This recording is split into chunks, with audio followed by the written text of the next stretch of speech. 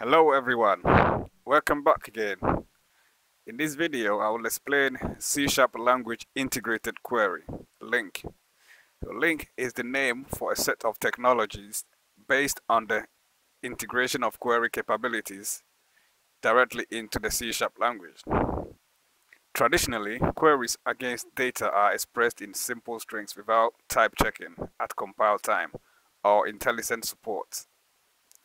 So to get started, if you haven't subscribed to the channel, please make sure you do. Traditionally, queries against data are expressed as simple string without type checking at compile time or IntelliSense support. You have to learn a different query language for each type of data source, like SQL database, XML documents, various web services, and so on.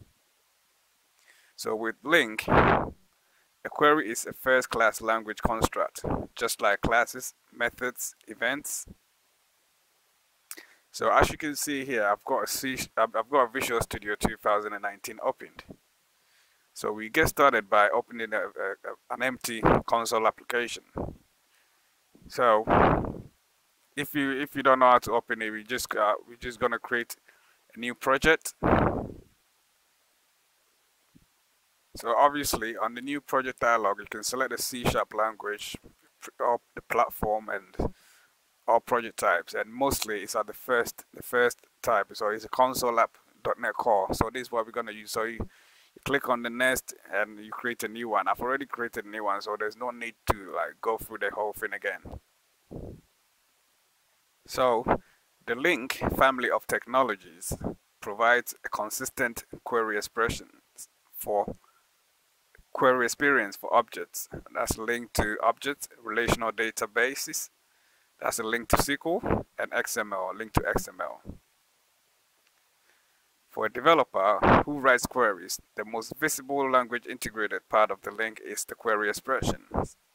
The query expressions are written in a declarative query syntax by using the query syntax. So you can perform a filtering, ordering, ordering and grouping operations on data sources with a minimum of code. So rather than just talking too much, we will get started. So as you can see, I've got an empty console application here. It only prints out hello world. So we're just gonna put um,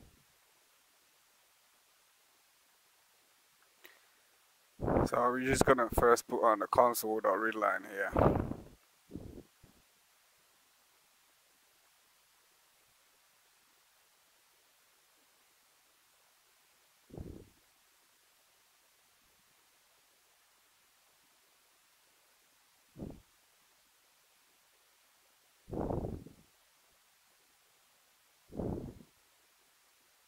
Okay, to create a LINQ, uh, the first step of creating a LINQ is obviously to specify the, the data source. So in this case, we're just going to use an array of integers. And we're just going to call them numbers. So we just set the value. So we just set the value. It's a new integer array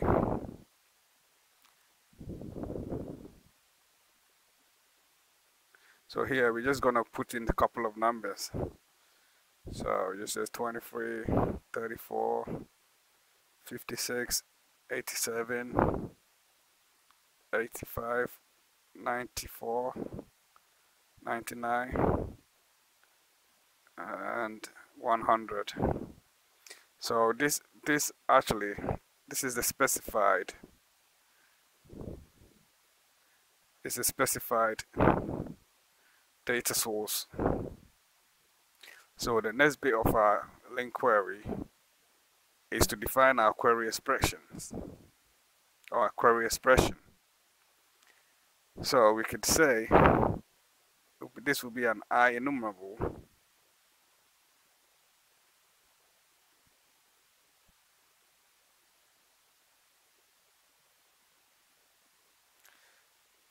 So I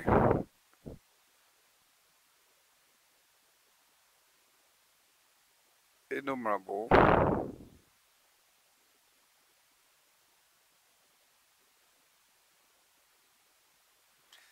that takes um, takes an integer. So we're just gonna call this um, num yeah?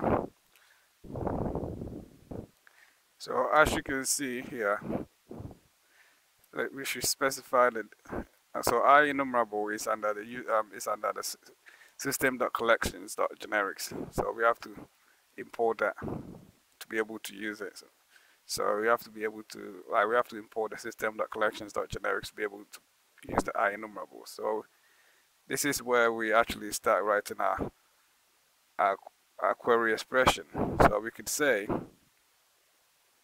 now um, let's start from the new line from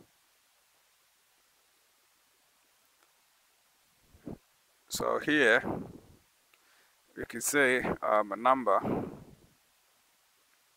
So this is the, the, the variable we actually attributing in our, in our query expression. So in the numbers. And here we, we're going to put the filter by using the where keyword, where the number that we selected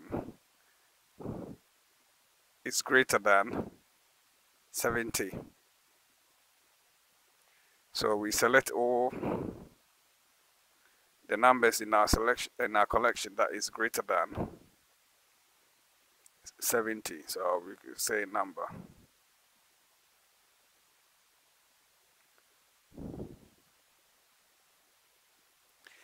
So as you can see here, now we're getting an error here. So we have to import this bit here system.Linq so we have to also use the system.Linq language integrated query to be able to use this this um, expression or this query expression so then that's so this one is um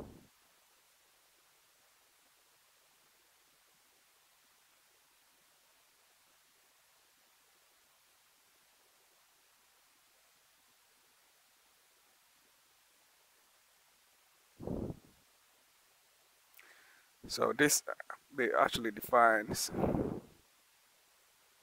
the query expression. So the next part is actually to execute the query. So we can do that by using the for each keyword. So for each, so we're going to loop through for each variable i for an int in the num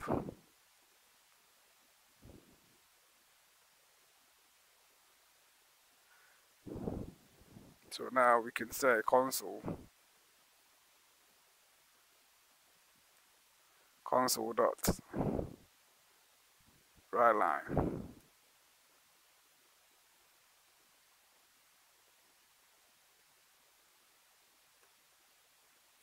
So we can actually write the number. We leave some spaces. We leave some space so actually we're just going to use console.write just to put on the same line. So here we're actually executing our query. So we're going to F5 to see what actually comes out of it here. So as you can see now we've got it running now. Yeah, my computer is running a bit slow for some reason. But of course you get what is going on here now.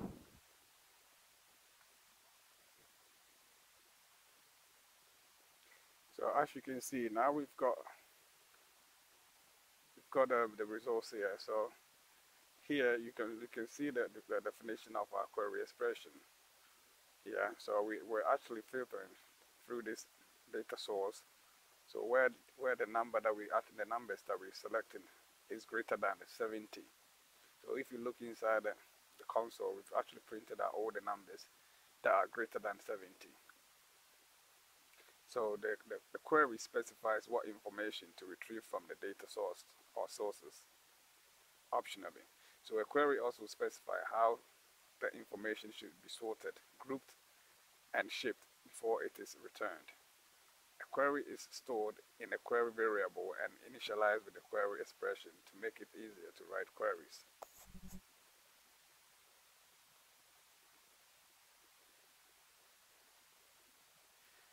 There are many ways that you can actually filter the query.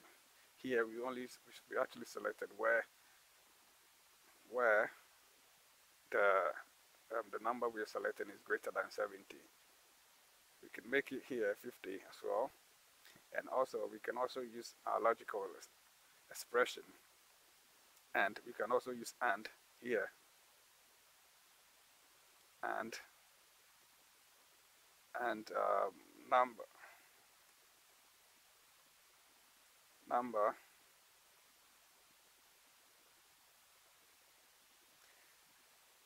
Is divisible. Okay, we can just put this bit inside the bracket here and the number. Is divisible by 2 is, is equal to.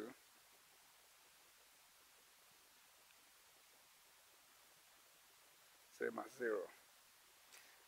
So in this case yeah, we're actually selecting all the numbers greater than 50 but also divisible by 2. So it's, it's, that means we're actually selecting even numbers that are greater than 50. So let's run it to see what actually comes out of it.